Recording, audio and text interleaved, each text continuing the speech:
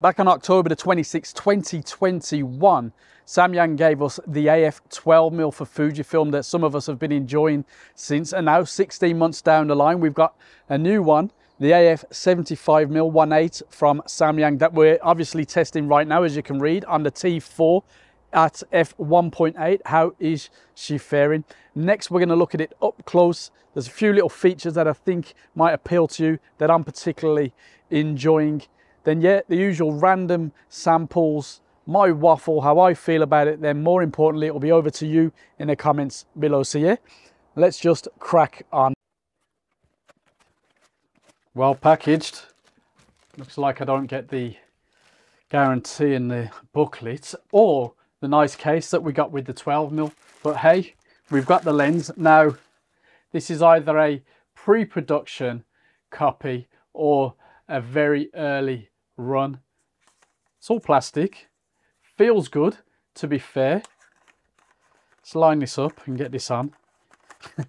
it's always slow when I do it on these videos. But yeah, wow, it is light. Now I have weighed it, 233 grams. It does have weather sealing, which is a big pro. Can't get that on now. And 62 mil filter thread, 69 centimeters close focusing. Magnification ratio 0.13 times, I believe. Now there are nine diaphragm blades, 10 elements in nine groups. Focal length in full fat terms, 112.5 mil with an angle of view of 21.9 degrees. Now, you'd have noticed no aperture ring. The aperture does go 1.8 to f22 plus program mode. Now you do have this nice, well textured manual focus ring. But if you flick this switch here, well, it's already flicked down. but M1 is manual focusing and M2 when it's all up and running properly as I'm only getting this feature on movie mode on my T4 at the moment. As I say, this is either pre-production or very, very, very pre-release runs or pre-production, let's just call it. So what we're waffling about is this becomes an aperture control ring. And also with future firmware updates, they say other functions will come to this custom switch. That is very good. That is a big pro to this when it works because obviously I'm not getting full experience yet. You will by the time this is out you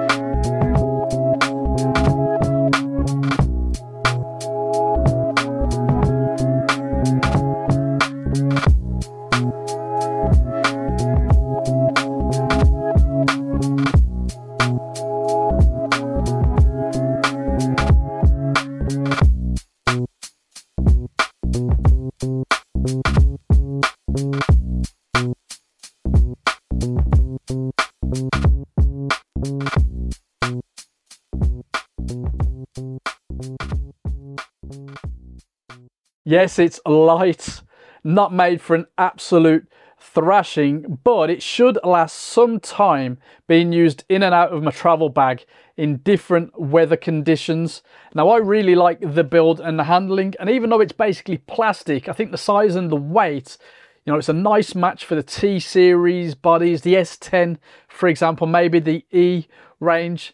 Now, one thing to note is that the lens barrel and the filter size is a direct match for the 12 mil so that's a tick in the pro column for filter users and potentially gimbal shooters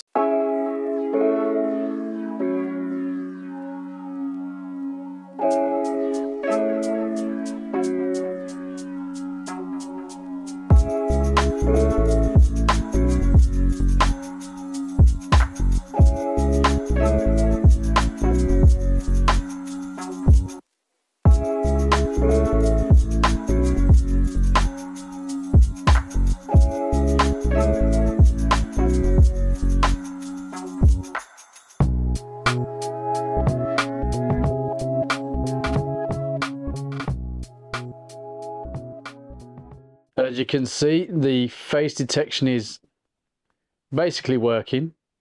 Remember pre-production. Let's flick across. I think, for me, that is perfectly fine. Absolutely no problem. And this is the X-T4, so, you know, let's turn face detection off. Uh, I to the records, I to the records. Oh, that was user error. So in a situation like this, you might want to make the point a bit smaller, give you a bit more of a chance. But I don't think we can complain too much about the autofocus on this, although the way the internet is, people probably will. Sharpness in the center, wide open, is more than good enough. And actually, edge to edge, it performs quite well too. Contrast, very good. Color rendering, excellent, consistent. I'm very pleased with that. Now, field curvature can be a bit of an issue, wide open, but distortion itself isn't a problem. There's maybe a touch of pincushion, you know, as to be expected. And yeah, chromatic aberration, moderate but fixable. So not bad. I found the lens very much at home shooting people, but also cityscapes, day-to-day -day travel type stuff like this quick rip around the canals near home.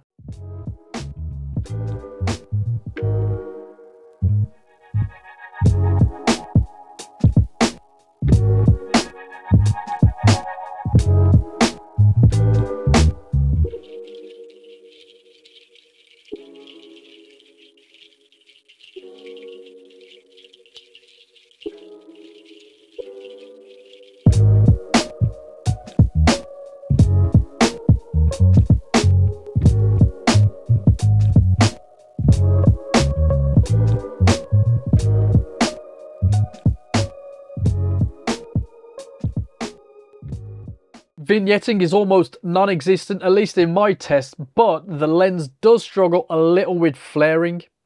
Now finally, bokeh. It's possibly not the best out there for that, but it's more than adequate. LED lighting, for example, is fine, but it can get a bit messy with foliage and water, as you might notice in some of these final test shots around Edgbaston Reservoir in Birmingham.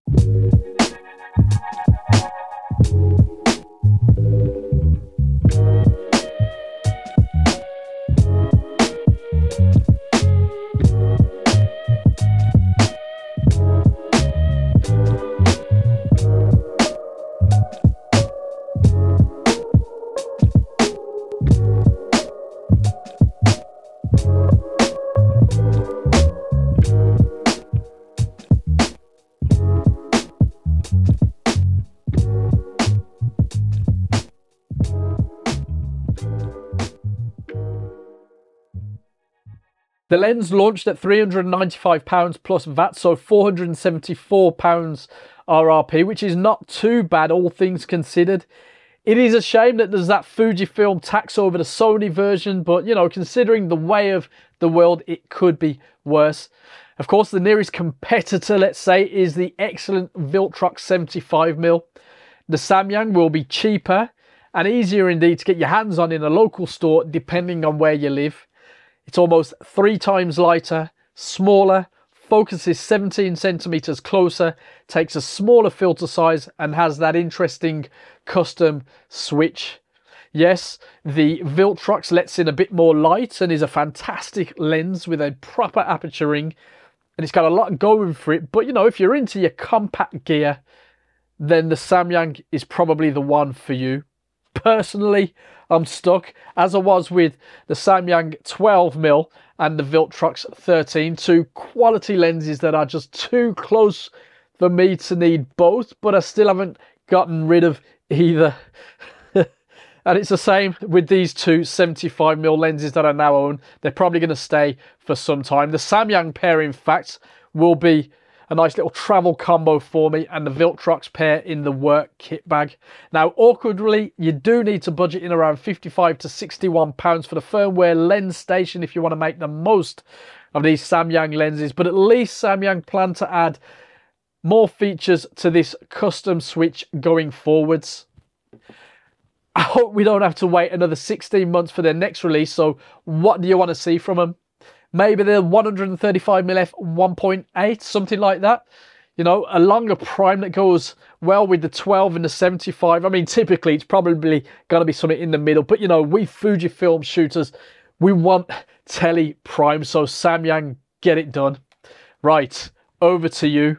Have you tried this yet? What do you think? Let us know in the comments. And until then, take it easy.